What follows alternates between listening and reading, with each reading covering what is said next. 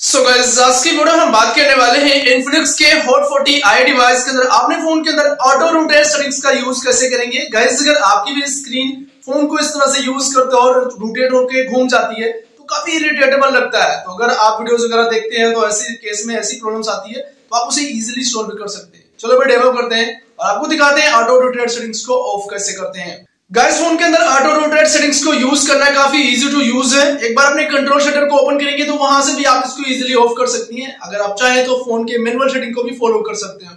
एक बार इसको डाउन करते हैं। यहाँ पर मिल जाता है ऑटो रोटेट अगर ये लाइक इस तरह से इनेबल नहीं है तो कोई दिक्कत नहीं है। इसमें क्या था, वो थोड़ा सा केस थोड़ा सा उल्टा होता है। उल्टा मीन की अगर मैं इसको ऑन कर दूँगा तो मेरे केस में अभी ये लाइक रोटेट करेगा। लेकिन नहीं हो रहा अभी।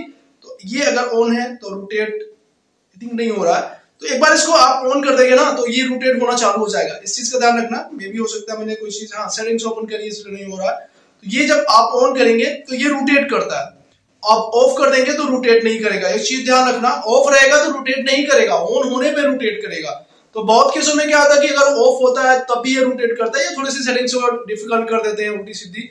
बट कोई ना, अगर आपका ये ऑन है तो आप इसको ऑफ़ कर लेना तो आपका ये जो है बंद हो जाएगा, जो प्रॉब्लम्स आप फेस कर रहे हो।